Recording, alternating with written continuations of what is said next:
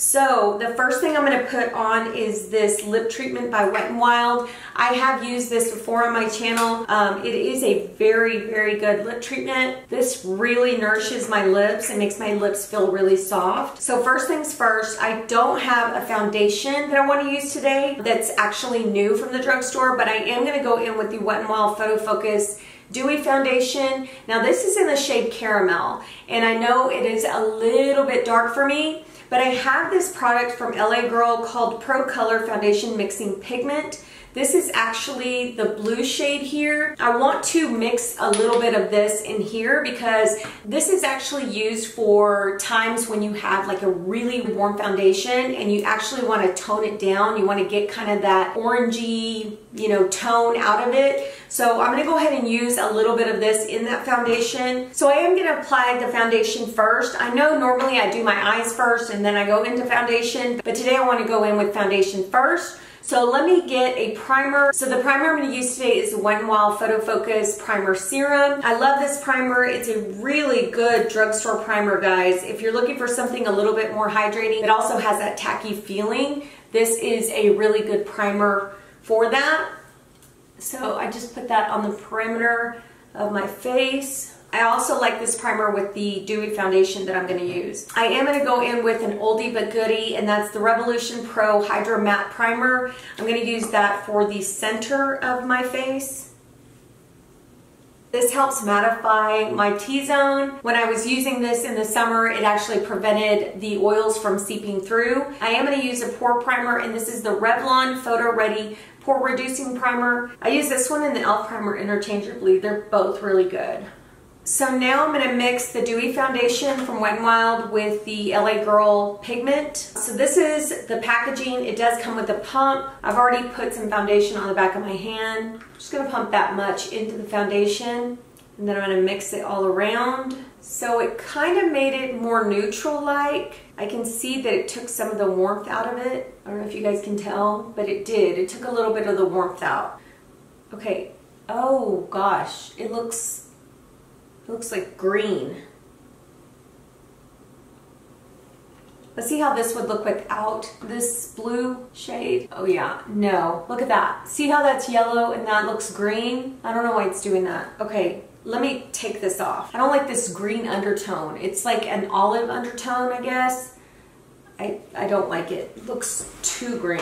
I went ahead and added some more primer. So I'm not going to use this, guys, because for some reason it made it have like a green undertone, kind of like an olivey undertone. I don't like the olive undertone because I really feel like most foundations with an olive undertone have like kind of a green tint to them. So I'm not going to use this today, and I'm not going to use the Dewy Foundation, but I am going to go in with my number 7 Protect and Perfect Advanced All-in-One Foundation. This is what the packaging looks like. I've really been loving this foundation, guys, especially for the fact that it has SPF 50. That is such a big plus for me. And not only that, it looks beautiful on the skin. So I am gonna apply this to my skin really quickly, and I'm gonna use a brush. I did do a video where I used this foundation, and I'll link it here so you guys can check it out but I really loved applying this foundation with a brush because it gave me really nice coverage. So we're gonna do that today. And I'm gonna go through this really quickly since I've already done it in a previous video.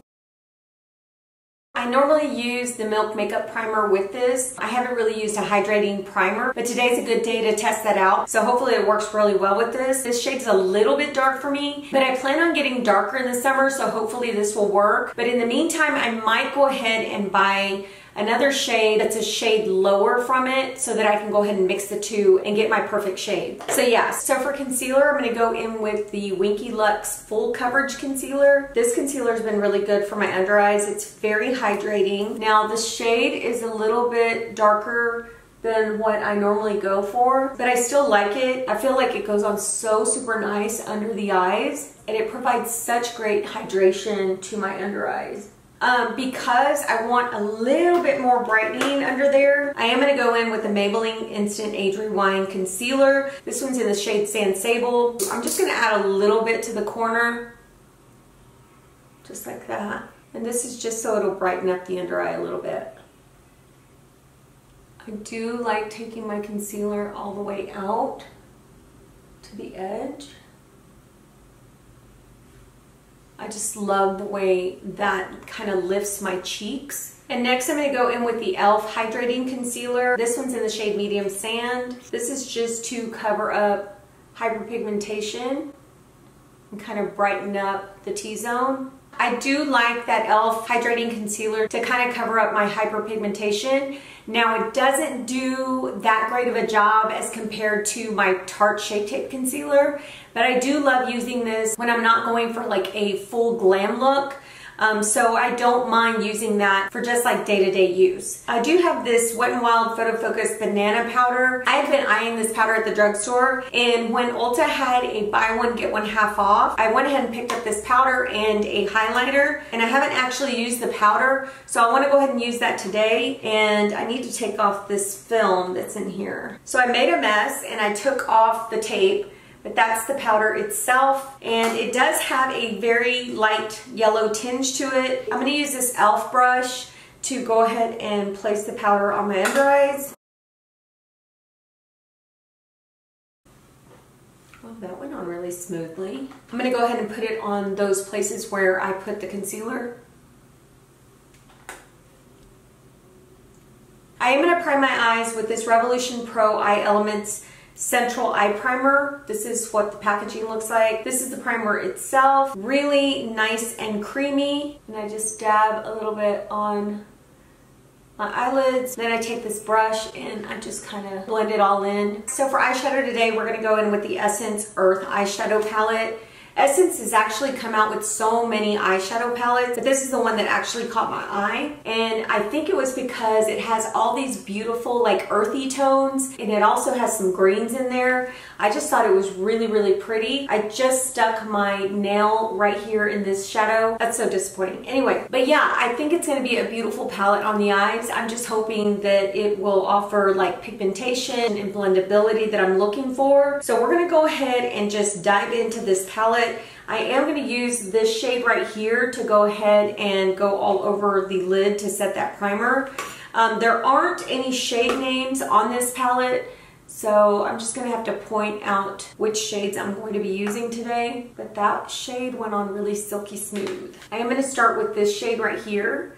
I'm using a Morphe M441 and I'm going to place that in my crease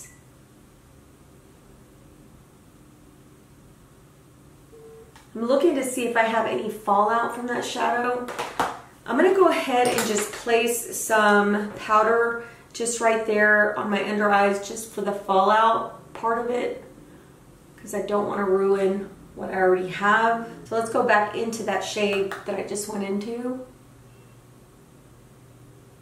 That is a pretty light bronze shade totally caught me off guard because I thought it was going to be more of like a yellow shade or a mustard shade, but it's not. It's a light bronze. Might have a little bit of gold in it as well. It's nicely pigmented, really pretty. I grabbed the Sigma E25 and I'm going to go into this brown shade right here and I'm just going to take that in the crease. Now these shades are not matte. I think the only matte shade was that first white shade that I put on. Everything else has more of a shimmer to it. It's still so beautiful. These are so nicely pigmented, guys. Look at that. I can't even remember how much I paid for this palette. I'll put it right here because I completely forgot. Oh, I love that. I love this shade. It's a beautiful like bronzy shade. I'm gonna go ahead and, and go into this green shade right here using that same brush. And I'm just gonna go right here on the corner of my eyelid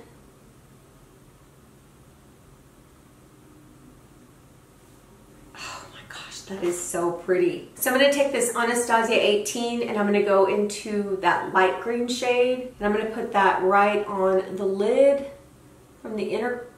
Wow, look at that. That is so freaking pigmented. I didn't even have to wet the brush. Okay, so I just reviewed the Winky Lux shadow palettes and I'm gonna tell you right now, they have nothing on this palette, nothing. I have not had to struggle with blending. I have not had to add more just so I could get the pigmentation because it's obviously there.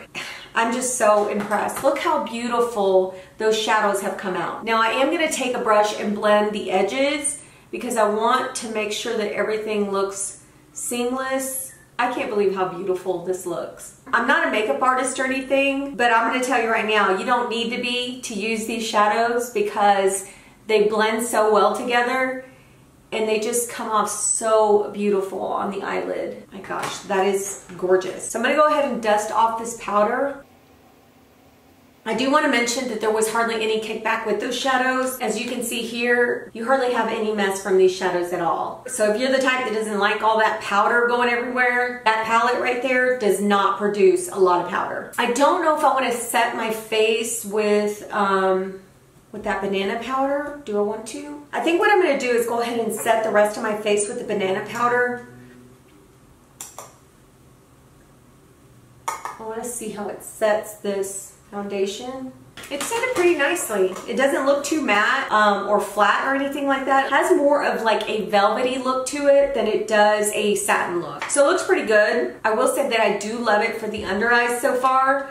Um, I'm looking at my under eyes and they have not creased, so that is a good thing. Um, I have been loving another powder for my under eyes, but because we're focusing on that powder, I'm not going to use that today. I just want to see how this uh, Wet n Wild powder actually holds up. So I did purchase the Profusion Pro Contour palette. This is a palette that I picked up at Five Below. I haven't been back to that store yet since that day that I had purchased all those items, but I do plan on returning because like I said, I found a bunch of cool stuff there. That little Love Light, I found that there as well, and it was only like five bucks. So this is what the palette looks like. Kind of reminds me of the Kat Von D Light and Shade palette. So I'm going to use it just like I would that palette. I did have that palette in my collection, but I don't have it anymore. I think I actually gave it away. So I'm going to go ahead and use this center one right here to go ahead and contour under my cheekbones.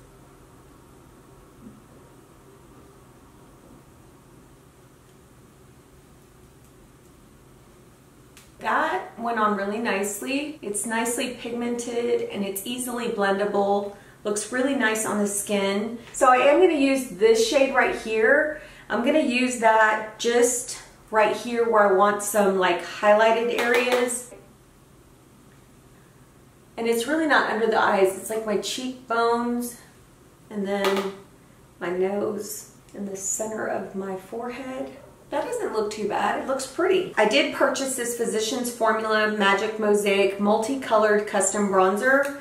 This is the packaging here. This is new to Physicians Formula. It says it's a light bronzer bronzer, so I don't know if this is gonna show up on me, but when I saw it, I thought I could go ahead and just mix it all together to see if it provides like a darker bronzer. But these are the shades right here. So this side is the lighter side, and of course this is the darker, and what I'm gonna do is I'm gonna mix all of them together to get the shade that I'm looking for. I'm actually gonna go in with this e.l.f. stipple brush I'm just going to swirl the brush in there.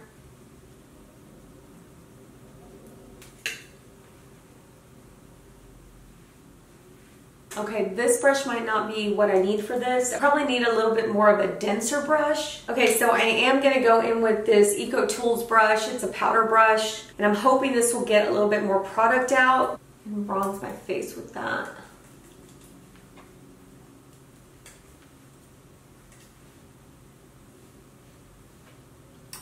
Nope, I really did not get much color from this. I do see a little bit of bronze, but it's not enough to say that it is a bronzer that I would use for my skin tone. So what I am gonna do is I'm gonna go in with the bronzer that you guys have already seen, and it's the Winky Lux Bronzer in Mocha. This is what it looks like. I love the way this bronzer goes on. It does a really good job of bronzing the skin. And it smells so good. I am to do my eyebrows off camera. I'm using the Morphe eyebrow pencil in Java. So I'm to do that real quick and then we'll come back and finish off the makeup. Okay guys, I did use my Sephora Clear Brow Gel to brush out my eyebrows. Now I'm to go in with my Pure Nude Sunlighter palette. I am using this shade today just as a blush and a highlighter. So I'm to go ahead and just dab that right there it has like a beautiful peach tone to it. I am gonna go back into the Essence Earth palette. I'm using the Sigma Exact Blend E32 brush. I am gonna use this shade right here and I'm gonna use that in my inner corner.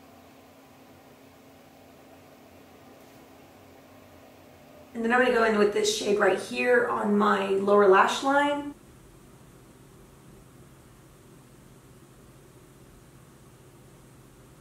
That's gorgeous. I did purchase a few new lipsticks from Maybelline. I purchased 275 Crazy for Coffee. That's this shade right here. I also purchased 940 Touchable Taupe.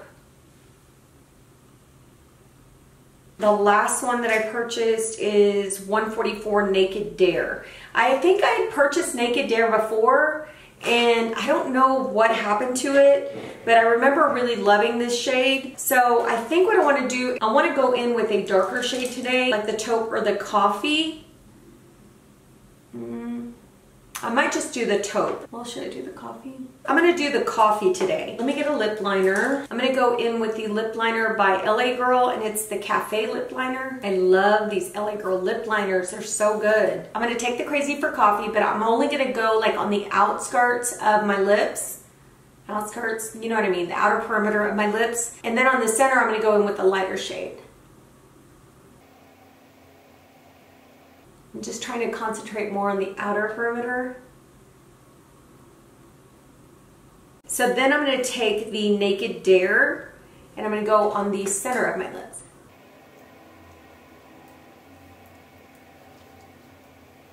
Kind of has like that 90s vibe. So to finish everything off, I am going to go in with a number 7 Lift and Illuminate Triple Action Finishing Powder. In that video where I tried the Winky Lux products, I also tried this product and I have been loving it. So I'm going to go ahead and get a brush. I'm using this Japanese brush. I'm just going to buff everything out with this.